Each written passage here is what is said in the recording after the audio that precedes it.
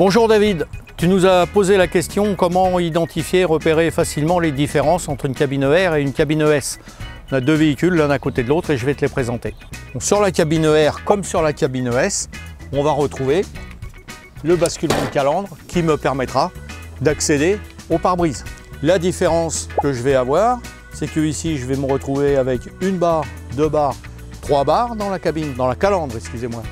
Mais ici, je vais avoir un espace beaucoup plus grand de nid d'abeilles. Si vous vous rappelez tout à l'heure, sur l'autre, on avait juste un petit bandeau à ce niveau-là.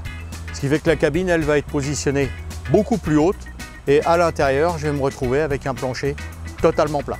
Sur une cabine ER, qui est donc positionnée beaucoup plus bas qu'une ES, on va du coup retrouver, puisque ce sont les mêmes emboutis de porte, on va retrouver un espace beaucoup plus restreint entre la poignée et le bas de la porte. À l'intérieur, je vais retrouver un petit bossage au niveau du tunnel moteur.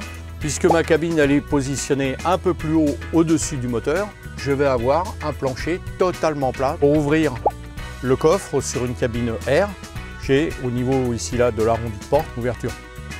De la même façon avec la petite tirette pour pouvoir ouvrir le coffre à bagages.